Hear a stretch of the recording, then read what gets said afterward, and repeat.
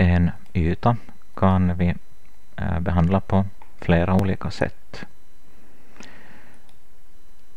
Jag väljer en yta och går till Subdivide.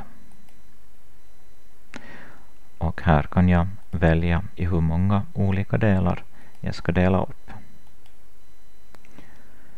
Jag kan använda eh, kniven och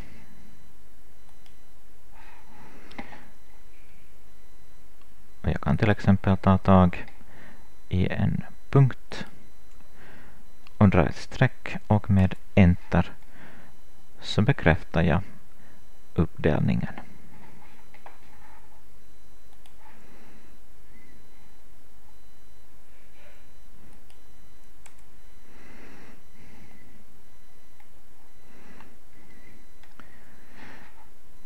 Om jag högerklickar på en yta och trycker på X så kan jag välja att radera punkten, kantlinjen eller ytan.